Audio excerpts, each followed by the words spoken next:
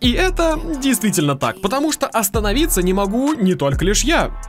Прозвучало как великая цитата «Не хватает только слов завтрашний день», но это правда, а остановиться не может Стеф. Это новости, у микрофона все тот же я, и сегодня мы вновь говорим о новостях, войнах, каре и многом другом, потому что без этого невозможно. Перед тем, как мы с вами кинем три в корзину этого выпуска, напомню вам, что поддержать свой любимый клуб, клубы от баскетбола до киберспорта и даже футбола вы всегда можете в компании GGBet, где прямо сейчас при регистрации по ссылке в закрепленном комментарии и использовании моего промокода TOPBASKET вы получаете плюс 200% бонусом на первый депозит. Ссылка и все подробности находятся в закрепе, а мы стартуем.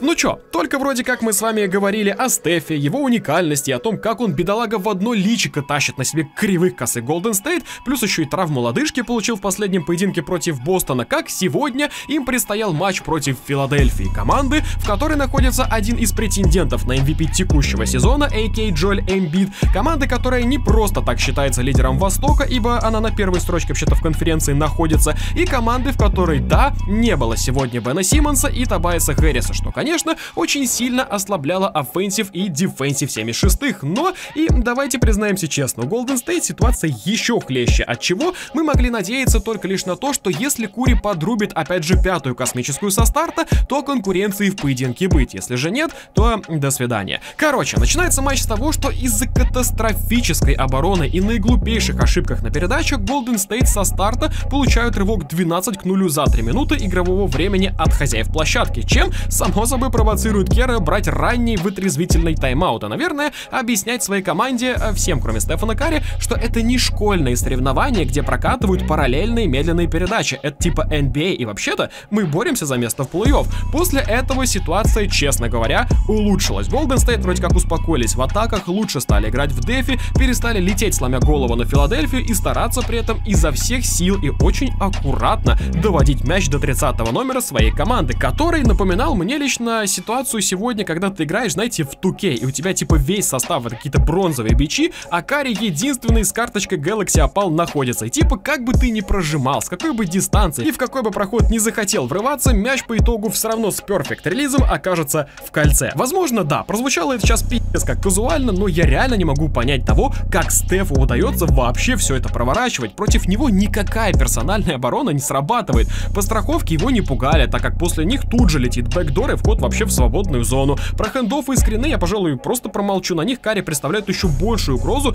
нежели на других комбинациях. Опасность от него исходит при малейшем промедлении соперника в обороне, и это сразу провоцирует его совершать бросок. По итогу от того раннего дефицита уже к концу первой четверти не остается и следа, а середина матча подводила черту таким образом, что ГСВ сравняли счет и готовились выйти в лидеры, давая полноценно понять хозяевам корта, что лидер их команды сегодня ни хрена не удержим. Если что, так оно и получилось получилось. Ключевой отрезок матча наступил практически под занавес четвертой 15 минутки, когда Карри влетает с двух ног на паркет и буквально испепеляет Филадельфию дальними бросками, где трешка справа под 45 после заслона даже на третий и четвертый раз подопечными Дока так и не была перекрыта. За что? А, они полноценно поплатились и получили плюс 12 только лишь от степа. Во-вторых, именно этот момент и надломил их в концовке, после чего они же так яростно не сопротивлялись и по факту матч отдали. И В Стефу персонально это помогло опять же собрать целый джетпак из рекордов. 6 матчей теперь у него в этом сезоне с 10 и более точными дальними имеется, по карьере таковых поединков 21,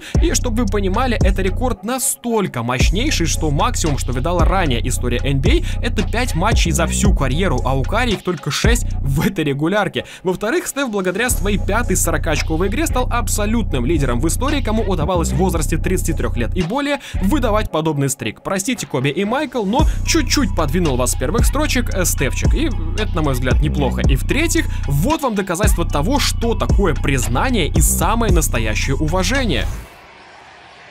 Such a good move. He.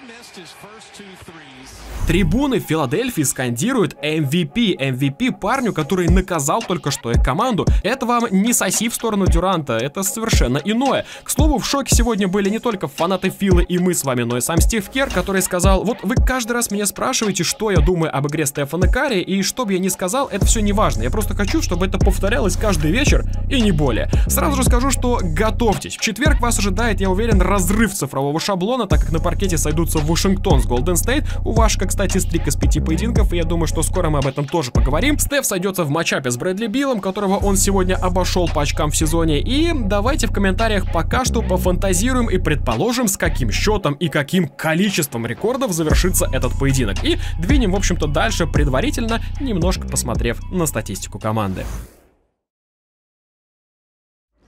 Все правильно, это не что иное, как интеграция собственных э, социальных сетей, бездумная и беспощадная. Короче, если вы хотите э, узнать все самые свежие новости из мира баскетбола, то вам необходимо э, перейти по ссылкам в описании и подписаться на наш инстаграм, э, на нашу группу ВКонтакте, и если вы хотите посмотреть матчи NBA, а, то ссылочка на телегу тоже присутствует. А то что, они, получается, просто так ведутся, что ли? Да нет, конечно, ссылки в описании, подпишитесь, мы ждем вас.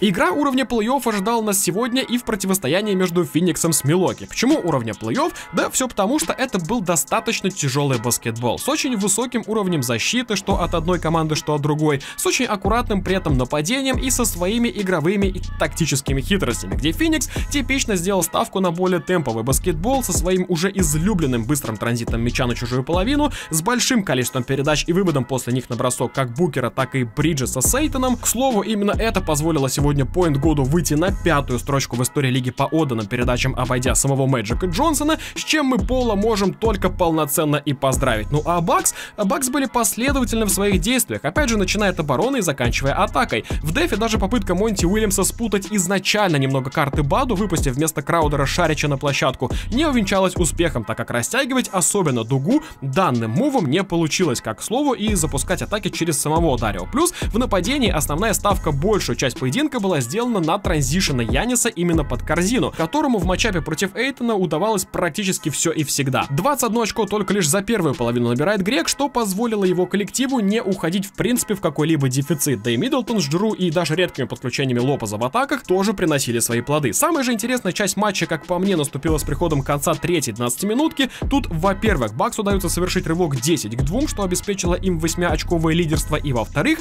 данная ситуация наконец-то немного раскачала встречу по части открытости в противостоянии, потому что Феникс начнет с этого момента чаще стараться атаковать издали, ну они проигрывали, надо было как-то сокращать, да и Миддлтон проснется полноценно, что в общем-то обеспечит нам не менее яркую концовку в этом поединке, героем которой у Санс я бы однозначно назвал Криса Пола, так как его божественные, молниеносные и всегда в тайминг ассисты взвинтили темп команды до такой степени, что хозяева паркета в какой-то момент, похоже, даже и не поняли, что от их преимущества уже ничего не остается, а игра плавно перетекает в режим клатча. К слову, в основное время, несмотря на все старания Букера и Миддлтона разрешать как-то этот матч, у них ничего не вышло, и победителя мы выявить так и не смогли, отправляясь в допы. А вот уже в них история приобрела совершенно иной характер, так как это была игра исключительно вторых ролей, где со стороны Санс Микел Бриджес в основном отвечал за набор очков на старте, забивая как с дальней, так и со средней, плюс очень круто отыгрывал в защите, а у Бакс старались отвечать этому парню изо всех сил Такер, Конатон и Холли Холлиday, благодаря чему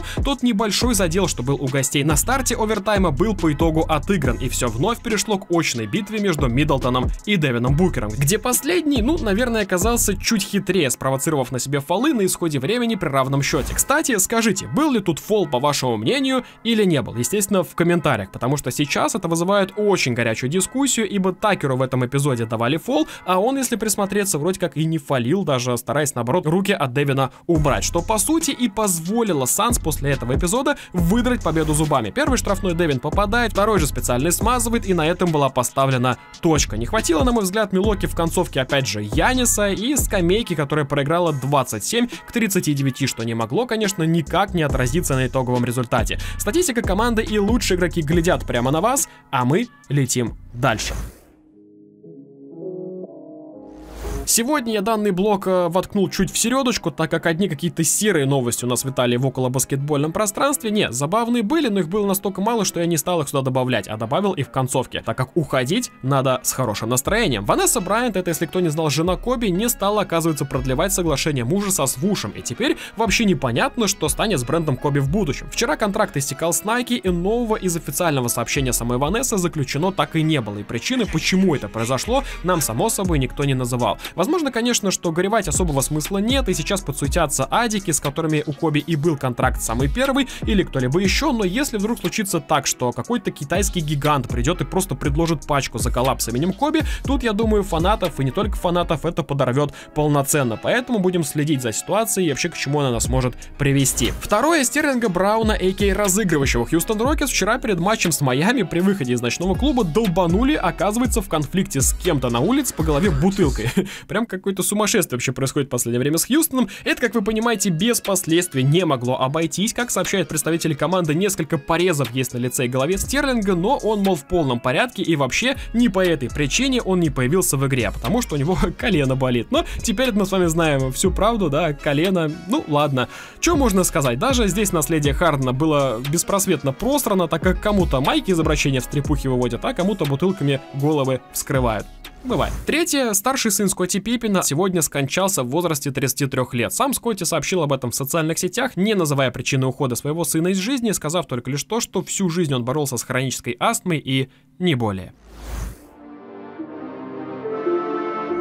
Ну и, наконец, самая веселая встреча сегодняшнего вечера — Денвер Наггетс против Мемфиса. Давайте только знаете, что сделаем? Сразу же отбросим желание разобраться во всех деталях этого поединка, потому что такие игры бессмысленно декодить. Они слишком зажигательные и, честно, говорить, кроме как о Моренте, Йокиче, Бартоне, Жопе Грейсона, Алина и Факунда Компаца, у меня желания не имеется. Джа, настоящий и истинный главарь стаи медведей. Сегодня он был неудержим, 36 очков плюс 12 ассистов на его счету оказалось по итогу, и его энергии в первой половине матча хватало сполна, чтобы помогать коллективу выйти на раннее лидерство и в дальнейшем поддерживать его полноценно. Да, тут важна составляющая еще и Д'Энтони Мелтона, который заразился эффектом по ходу Стефана Карри и на старте под те же самые 45 справа раз за разом наказывал ужасную оборону Наггетс, но если возвращаться к Моренту, этот парень походу пока не попытается через каждого игрока в лиге постерайзнуть, ни хрена не успокоится. Да и первый овертайм, если что, он попытался выиграть вот таким вот броском.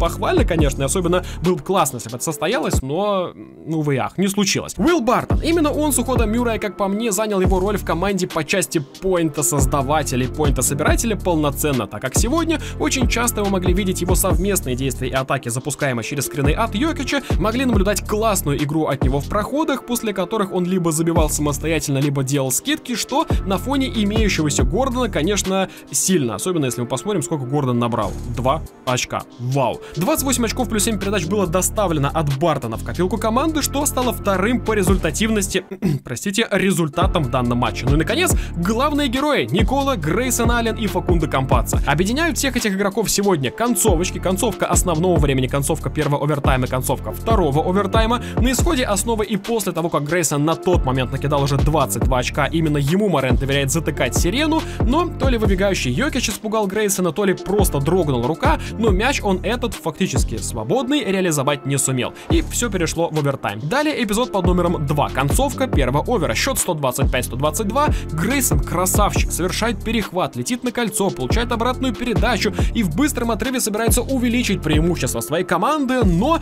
опять Никола, опять эта техника сербской бесконтактной защиты имени Сергея Будюка, и Ален не то чтобы данк не забивает, а еще и вот такое неожиданное спасение уходящего мяча от собственную задницу получает. Факунда не зря, конечно, имеет прозвище Факу, потому что факает при любой возможности кого угодно и когда угодно, красавец. Ну, чё, он реально спас сегодня игру двумя подобными эпизодами. Ну и третий момент, вот этот вот самый размен, который и приводит к фатальному пропуску броска Йокича на исходе времени и по факту приносит победу команде. Можно, конечно, долго спорить, кто конкретно виноват в данной ситуации. Я бы сказал, что Ксавер Тильман, видя как проскальзывает Ален, должен был переключаться на Николу и не допускать как мисс-матча, так и тем более такого провала, но, скорее всего, ребята не разобрались именно словесной. И получили в итоге то, что получили. Сербское наказание. Да если мы посмотрим другие эпизоды, при которых была именно очная битва между Тильманом и Йокичем, то станет ясно, насколько сильна нехватка сегодня была Валенчунаса. И что как бы ни старался Ксавьер защищаться, скиллов личных ему не хватало даже на то, чтобы в стратосферу не улетать от практически каждого фейкового броска центрового Денвера. Теперь о нем, о герое. True MVP, собрав сегодня линию из 47 очков и 15 подборов и 8 при этом ассистов, становится первым игроком игроком после Хакима образца 96 -го года, кому вообще удавалось сотворить нечто подобное. Не знаю, как вы, а я лично хочу увидеть в битве за MVP Стефана и Николу. К тому же, раз уж я сказал о Стефе опять, то сегодня даже сам великий Кендрик Перкинс извинился перед Стефом, написав все в Твиттере «Привет, Стеф, все, что я когда-либо говорил о тебе плохое, прошу прощения, сэр. То, что ты делаешь на площадке, это игра в баскетбол, она выходит за рамки легендарной. Еще и эти 49 очков с победой. Я просто завидую тебе, потому что у тебя светлая кожа, а я нет. Опять. Не, может я, конечно, что не понимаю, но Твиттер Перкинса это какой-то сборище цитат сумасшедшего, где на каждый подобный ход мысли ответить в принципе всегда можно вот такой вот гифкой и не более. Значит, из хорошего, что еще можно сказать? Кевин Дюрант вроде как э, со своей травмой ничего серьезного не получил, по крайней мере сообщений от Бруклина никаких нет, и он продолжает свое путешествие с командой, поэтому есть надежда на то, что скоро он появится в матчах. Как и Энтони Дэвис, который по слухам может вернуться уже даже в ближайшем матче против Далласа. Кстати, касаемо Бруклина, Бруклина я не сказал пару важных вещей. Джеймс Харден уже приступил к тренировкам и тоже, скорее всего, в ближайшем будущем появится на площадке, и что 27-м игроком в ротации Бруклин Нетс может стать великий, как его назвали, и выдающийся игрок Евролиги, и а.к.а. игрок бывший ЦСКА Майк Джеймс. Вчера были сообщения о том, что уже Бруклин вроде как согласовал с ним контракт, но на самом деле этого не произошло, потому что Вашингтон Пост написал сегодня, что этого не было, и только сейчас все подходит к стадии договоренностей, поэтому ждем появления великого игрока Евролиги.